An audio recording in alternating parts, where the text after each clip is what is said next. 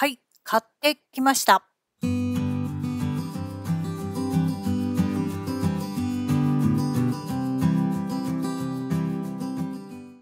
はい、皆さん、おはようございます。セノンです。はい、本日は、えー、いつものお部屋ではなくてですね、こちら札幌に滞在しているホテルからお送りしたいと思います。本日、えー、昨日ですね、えー、お買い物行きまして、買ってきたということで、早速、早速撮影させていただいております。昨日行ってきたのは、えー、まあ、全国的に有名な湯沢屋さんと、えー、まあ、札幌、北海道かな？北海道で有名なカナリ屋さんという手芸屋さんなんですけれども、まずですね、湯沢屋さんの方がですね、えー、湯沢さんが入っているビルですね。ビルが5月何日だっけ ?5 月に閉館をするっていうことで、えー、ただいま湯沢屋さん閉店セール中。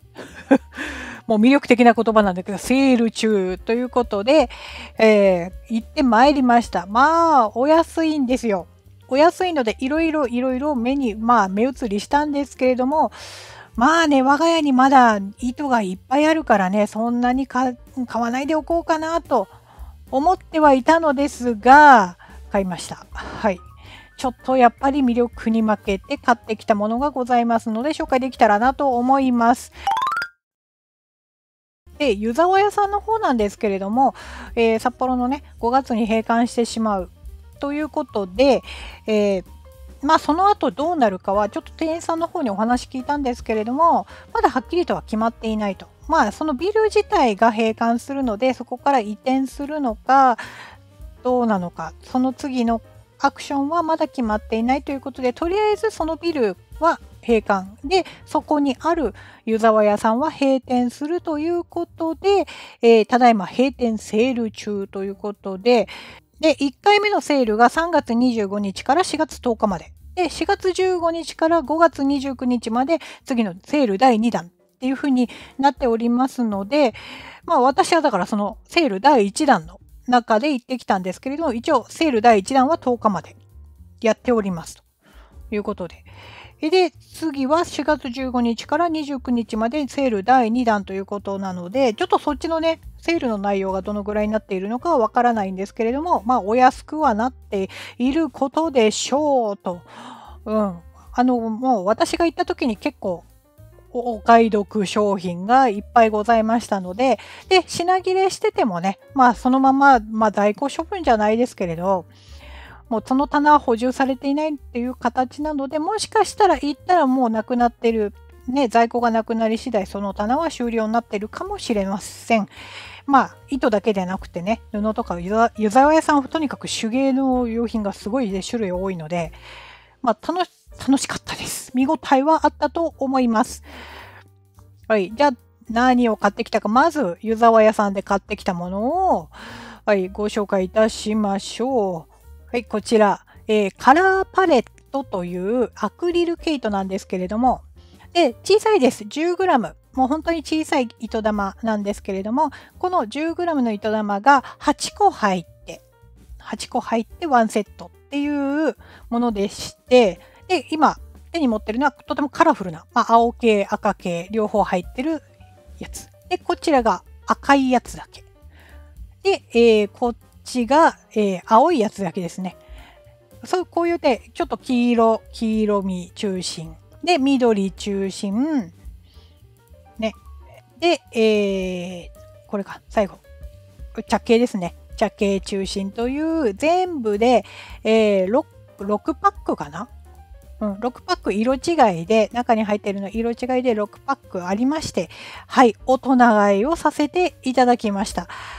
うん。いや、これでね、まあ、アクリル毛糸なんでね、ちょっとずつしか入ってませんけれども、何かね、編みぐるみとか、まあ、アクリルたわしとか、まあ、モチーフだったり、何か使えるんじゃないかなと、もう色が並んでるだけで、とにかく私はとても幸せな気分になりますので、えこれ、大人買いさせていただきました。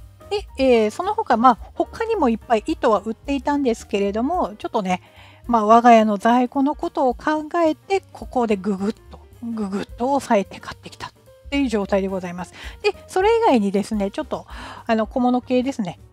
これ、ワックスコード、ワックスコード、これ何メーター？何メーターだ？な、ん？何メーター ?10 メーター？はい、ワックスコード2色ですね。あの、アクセサリーこれからね、作ったりするのにいいかなということで、えー、買ってまいりました。何メートルって書いてある。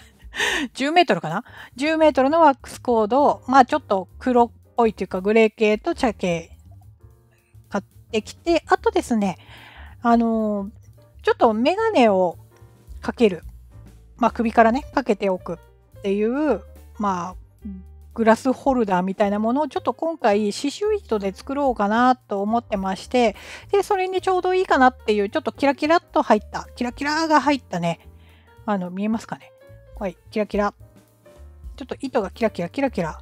ラメが入っている糸ですね。刺繍糸の方をちょっとまとめて買ってきまして、で、あと、ちょっとメガネね、押さえるための金具ですね。金具とかも買ってまいりました。で、あとちょっとそれに使えるかなって思ったビーズですね。ビーズ3色。はい。買って、こちらの方、ユザワヤさん。今回は、湯沢屋さんはこのぐらいにしました。で、これでね、全部合わせて合計で3056円でございます。これだけ買って、そのぐらいで済んだ。まあ、ちょっとね、あの、ラメ入りの刺繍糸とかはちょっと普通の刺繍糸よりもちょっと高価だったんですけれども、それでも、あの、割引が入りまして、ちょっとお安くなって、うん、るのかな？うん。まあ、とりあえず閉店セール中ということで、ここら辺の小物の方もちょそこそこ値が下がっておりましたので、買ってまいりました。はい。で、こちら湯沢屋さんでした。で、次なんですけれども、次はカナリアさんに行ってまいりまして、で、カナリアさんはね、セールうんぬんって、まあ、ワゴンセールとかやってましたけれども、そちらの方ではなくて、今回、一目惚れして、衝動買いしました。完全に衝動買いです。メルヘンアートさんのマニラヘンプヤーンというですね、あの、朝、朝ひも？朝糸？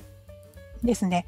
マニラ朝という朝ひも、まあ夏のバッグにちょうどいいワシャワシャっとしたこのワシャワシャっとしたちょっと和紙っぽい感じなんですけれどもテープヤーンですねちょっとこう色味の方に一目惚れいたしましてちょっとこのなんだろうデニムかすれてる感じのデニムっぽい色に一目惚れして買ってまいりましたで、えー、後悔のないようにですね後悔のないように今回、えー、3玉です。はい。いつもね、2玉だけで、ああ、ちょっと足りなかった、3玉にすればよかったと後悔するので、3玉買ってまいりました。で、1玉これはちょっと、あの、値引きも何もない、本当に衝動買いなので、1玉715円で売っておりました。で、これの他にですね、これの他に、こちらでございます。実はこれ、コーン巻き。コーン巻きなんですよ。これでね、200g かな？こちらの、あの、糸玉の方。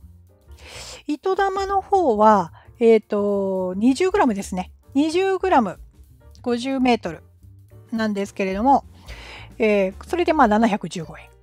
で小さい玉の方が 20g で、コン巻きの方が 200g なので、えー、まあ約10倍かな？小さい糸玉で普通に買うと、えー、700 15円なんです。10玉分ってことになるので、長さ的に。10玉分ってことになると、普通に買ったら7510円？違う。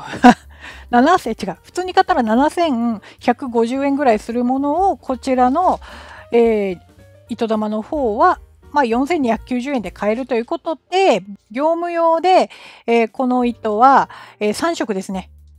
3色。この糸色と、あと白っぽい色と黒しかなかったので、3玉のうちこの色をチョイスして買ってまいりました。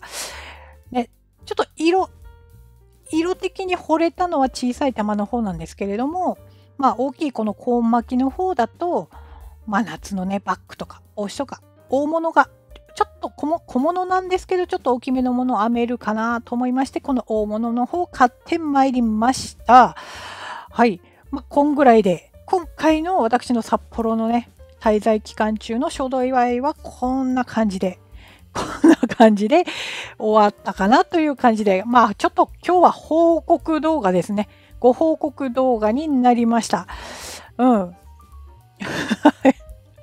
いや、あんまり買わないどこうと思ってはいたんですよ。思ってはいたんですけれども、思ってたんですけど、やっぱりね、セール中で、しかも閉店セールでかなりお安くなっていたので、ちょっと我慢できませんでした。で、本当はちょっとね、コットンの糸で狙ってた糸あったんですけど、そちらの方は私が行った時点でちょっともう在庫切れですね。在庫が終了してて、手に入らなかったので、そちらちょっと買えなかったなという思いがあります。まあちょっと私がもうこの湯沢屋さんの閉店セール中にはもうね札幌にはもう行けないと思いますのでとりあえずそうそれを考えてちょっと悔いのなきようと思って買えるものをいろいろ買ってまいりました。で、カナリアさんの方は完全に衝動買いでございます。カナリアさんの店員さんともね、いろいろお話しして、で、マニラヘンプヤーンの編み心地は、えー、エコアンダリアとかの感じですね。編み地的には似たような感じになると。ただ、風合いがね、やっぱり朝なので、ちょっと違うなっていうのはわかるよっていう話はしてまいりました。はい。というわけで、こんな感じで私の、私のお買い物報告動画でございます。この動画が配信されるときは私はもう札幌から自宅の方に戻ってきていると思いますので、えー、まあ、そのね、次のクッションカバーの準備ができたらいいかなと思っております。はい。それではまた次回ですね。次回も楽しく。もうこれだけまた楽しい糸を仕入れてきましたので次回も楽しく編んでいきたいと思います。それではまた。じゃ